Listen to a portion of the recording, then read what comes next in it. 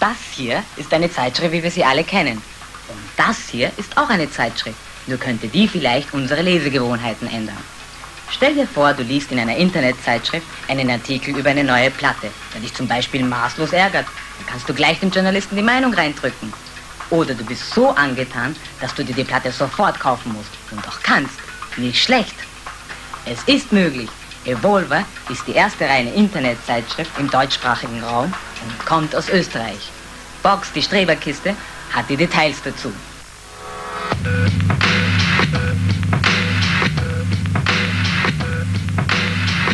Evolver ist ein E-Zine, ähm, World Wide Web Zeitschrift, Online-Magazin. Also der Unterschied zu konventionellen Medien ist einmal grundsätzlich, dass es papierfrei produziert wird. Äh, dass es nur im Internet zugänglich ist. Es besteht aus computertauglichen, internettauglichen Daten. Ein weiterer Unterschied ist, dass es interaktiv ist und multimedial. Ein E-Zine, ein Electronic Magazine also. Alles ganz normal, nur halt ausschließlich auf Computer und mit mehreren entscheidenden Vorteilen.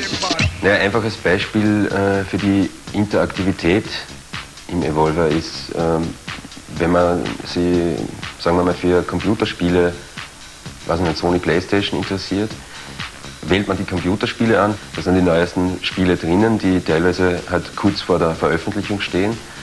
Kann man sich anschauen, wie die gemacht sind, kann eine Kritik drüber lesen, kann Screenshots sehen, äh, eventuell kurze Filmausschnitte. Man kann das einerseits bestellen.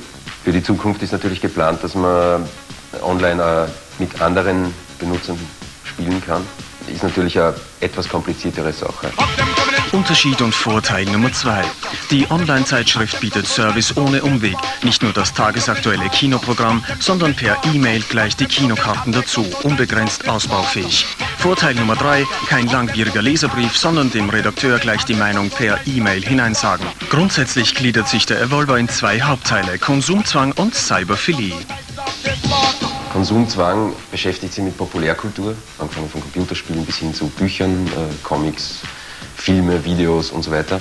Äh, es gibt Reportagen, Interviews und Berichte. Cyberphilie ist der andere Hauptteil, der beschäftigt sich mit Innovation. Es gibt ein Innovationsmagazin, wo es nur um neue Maschinen und äh, neue Software, Hardware, Produkte halt geht. Wissenschaftsberichterstattung, also alles, was halt im weitesten Sinne mit Computertechnologie zusammenhängt.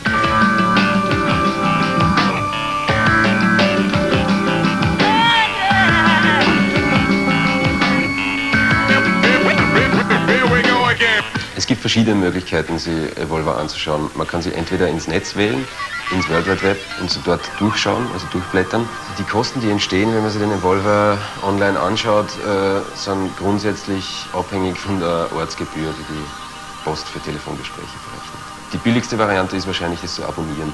Also wenn man es abonniert, kriegt man die neueste Version äh, eine Woche bevor sie ans Netz geht, auf Diskette zugeschickt. Um den Evolver konsumieren zu können, äh, braucht man mal grundsätzlich Zugang zum Internet. Also man braucht einen World Wide Web Account bei irgendeinem Online-Provider, über den man sich praktisch ja, einwählen kann.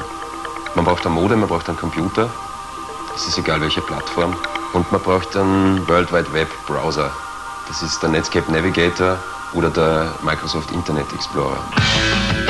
Wer auf die Interaktivität und die bewegten Bilder vorübergehend verzichten kann und lieber Papier in den Händen hält, kann den Evolver natürlich auch ausdrucken.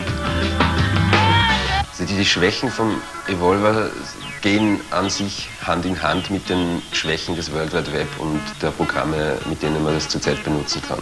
Die Schwächen sind äh, hauptsächlich zu suchen, denken wir, in der Downloading-Zeit für Filme und Tonsamples. Das wird sie, nachdem ja die Tele, Kabel und Telekom Milliarden äh, investieren in neue Netze, Hochleistungs Hybrid-Glasfasernetze und so ähnliches, wird sie das in spätestens zwei Jahren das Problem erledigt haben. Ja, und bis dahin haben wir sicher auch keine Probleme mehr. Ab Oktober ist der Evolver im Internet unter www.evolver.at abrufbar.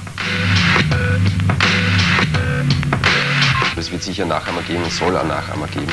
Oder Leute, die was Ähnliches machen äh, für andere Interessensbereiche. Die erste Version von Evolver kann man sich schon ab Oktober anschauen. Die offizielle erste Ausgabe gibt es dann ab November. jedes Monat neu, aber nicht am Kiosk. Statt The Prodigy werden uns Gang Nancy die Ehre erweisen und zum Riesenspektakel Snow in the City kommen.